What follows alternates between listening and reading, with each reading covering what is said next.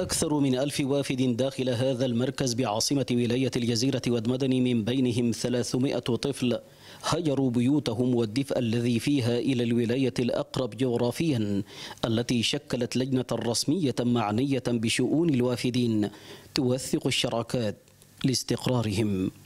عدد كبير جدا من المنظمات المحلية والعالمية آه، ساهمت بمساهمات يعني فاعلة وكبيرة جدا مما أدى إلى استقرار آه، المد الغذائي لهذه المراكز. وما زال هذا الإمداد يعني مستمر حتى هذه اللحظة. مبادرات ومنظمات تحاول بذل كل ما في وسعها لإقرار ما يؤمن العيش الكريم للوافدين الذين تركوا كل شيء هناك. والحال يغني عن السؤال.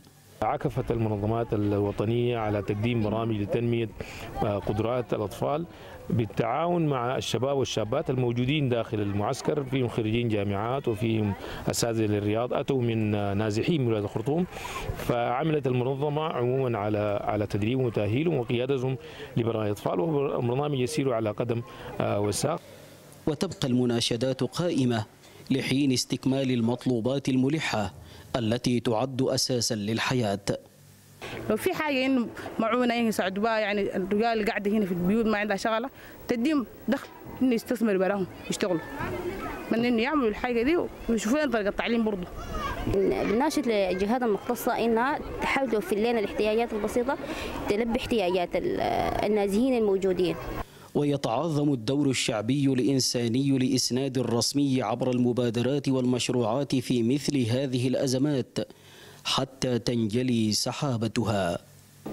مع انتشار مراكز الإيواء بولاية الجزيرة تبقى الحاجة الملحة إلى ضرورة مضاعفة الجهود الرسمية والشعبية والتطوعية لانسياب الخدمات الأساسية المتمثلة في الجوانب الإيوائية والغذائية والصحية لفائدة الوافدين الذين أجبرتهم ظروف الحرب.